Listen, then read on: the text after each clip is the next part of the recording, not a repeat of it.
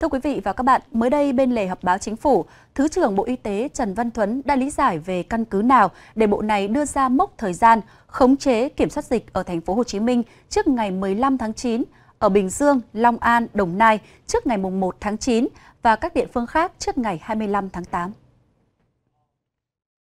Theo Thứ trưởng Trần Văn Thuấn, để đưa ra đề xuất này, Bộ Y tế đã dựa trên tình hình hiện tại về tỷ lệ mắc COVID-19, cũng như sự đáp ứng trong công tác phòng chống của các tỉnh, thành dưới sự hỗ trợ của toàn hệ thống chính trị. Trong đó, tại một số tỉnh, thành phố, đặc biệt ở thành phố Hồ Chí Minh, tỷ lệ mắc COVID-19 đang có xu hướng đi ngang. Vì thế, cùng với việc kiểm soát tốt hơn ở thành phố Hồ Chí Minh, hy vọng sẽ thực hiện nghiêm chỉ thị 16 của Thủ tướng ở các vùng đỏ và đồng thời mở rộng vùng xanh. Cũng theo ông Thuấn, với vùng vàng, vùng đỏ cần có chiến lược xét nghiệm phù hợp, khi nào dùng test kháng nguyên nhanh, khi nào dùng xét nghiệm PCR nhanh nhất và tách F0 ra khỏi cộng đồng. Từ đó, bước vùng xanh và vùng đỏ, vùng vàng kết hợp đáp ứng chăm sóc điều trị, cấp cứu bệnh nhân tại các tầng.